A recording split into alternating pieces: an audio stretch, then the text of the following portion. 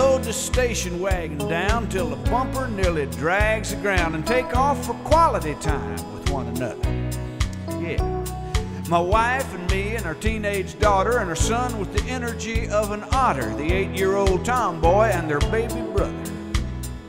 And for 50 miles, everything's just fine. We're all smiles and making time, but you can set your watch at one hour when the kids get bored.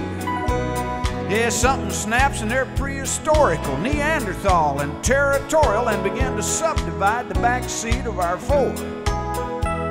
He's touching me. Give me that. It's mine. Daddy, his feet are across the line. They're yelling and fighting, and I'm trying to drive and reach over the seat and slap. And then my wife grabs the baby and pulls him up front just in time for him to spit up right into my brand new baseball cap.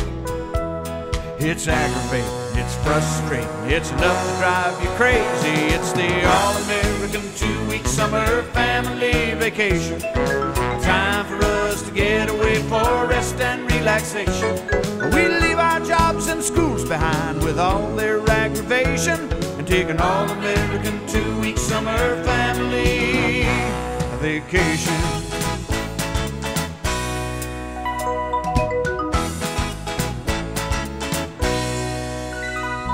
Well, the car's smoking and running hot, but we limp into our vacation spot and check into the original Roach Motel.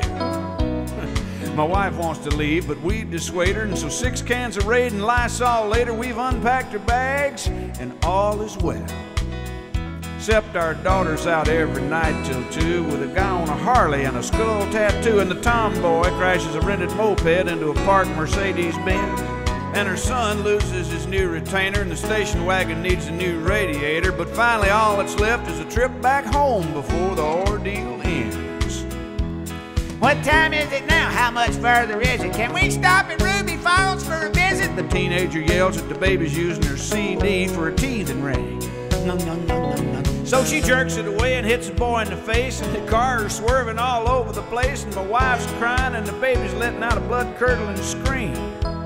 It's chaos, it's madness, it's out of control. It's the All American two week summer family vacation. A time for us to get away for rest and relaxation. We leave our jobs and schools behind with all their aggravation and take an All American two week summer